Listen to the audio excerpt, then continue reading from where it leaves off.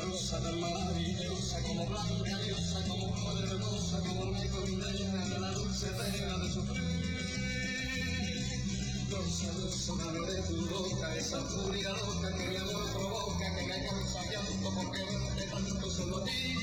Ay, rosa, rosa, pide lo que quieras, pero nunca pidas que mi amor se muera sin igual. Y así él ayuda a su mamá todos los días a que su, sus- su enfermedad y su tristeza y la tristeza de toda la familia se convierta en esa emoción y en esa alegría que nos contagiaba a todos de este lado. Así que vamos a pedirle a Claudio que suba al escenario porque él también tiene una mención especial. Lo aplaudimos muy fuerte.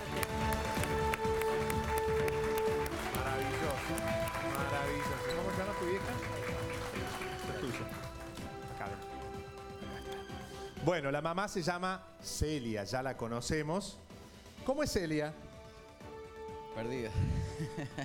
No, bien, bien, de primera. La verdad que más allá de la enfermedad que tiene ella, eh, es alegre, muy alegre. eh, bastante alegre, así que bien.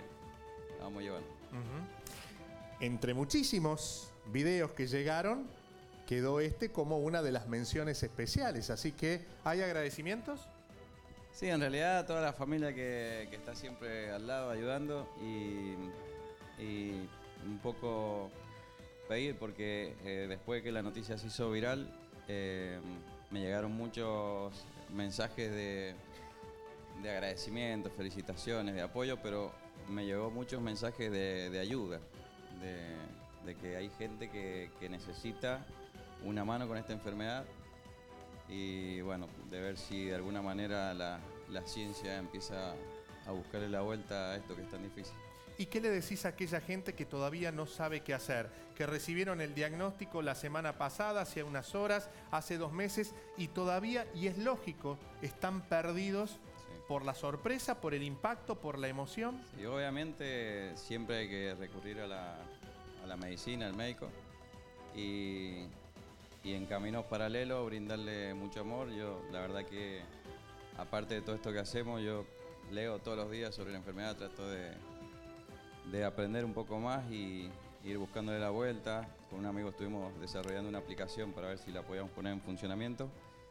Y mm, hay mucho para hacer, la verdad que hay mucho para hacer y desde el amor, el cariño, eh, se pueden lograr muchas cosas. Todavía no sabemos, y ya para cerrar, si Celia te escucha, cómo te escucha, de qué manera te escucha. Eso no lo sabemos. La ciencia está trabajando. ¿Hay mensaje para Celia? Eh, viejita, vos sabés que yo te quiero, ella por ahí va a decir, puede ser mi hijo o no. hay veces que me conoce, hay veces que no, pero eh, sabe que la quiero mucho y yo también sé que ella me quiere a mí, así que todo bien. Felicitaciones. Dale, gracias.